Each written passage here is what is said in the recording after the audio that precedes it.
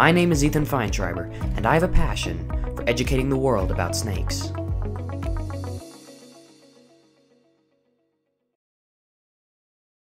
Meet the Florida green water snake. Now, I know what you're thinking. We've seen enough water snakes. Stop it with the water snakes. This is the last water snake, I promise. Anyway, check it out. Water snake right here. Oh, it's getting away. Oh, it's gone.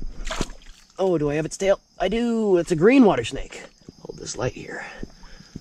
And carefully just pull him out. There we go. There you are. Hi. You're gonna bite me, aren't you? Let's bring you out into the road, why don't we? Oh, you're wiggly. You're wiggly. There we are. Carefully. Okay.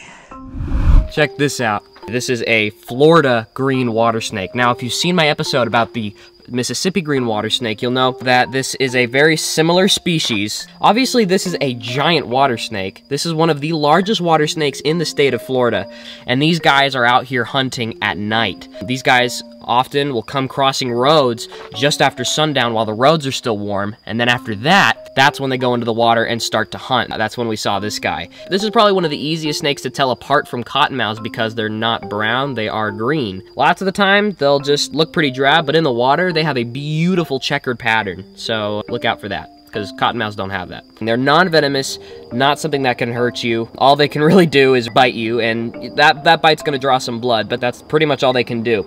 Of course, they will musk, which is a really, really stinky substance that they let out of their cloaca or their butt to make them and you smell as horrible as possible. The reason that a lot of my episodes of snakes that you can find in Florida are water snakes is because they have much higher metabolisms than other snakes. So they're coming out and hunting pretty much all the time, no matter what the conditions are, Anyway, thank you so much for taking the time to educate yourself on the Florida green water snake. I'll see you guys next time with possibly an even cooler snake.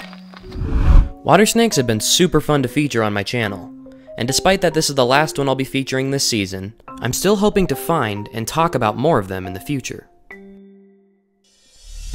If you enjoyed this episode of Snakes on the Brain, let me know by giving this video a like, and if you want to learn about other snakes I've caught, make sure to subscribe.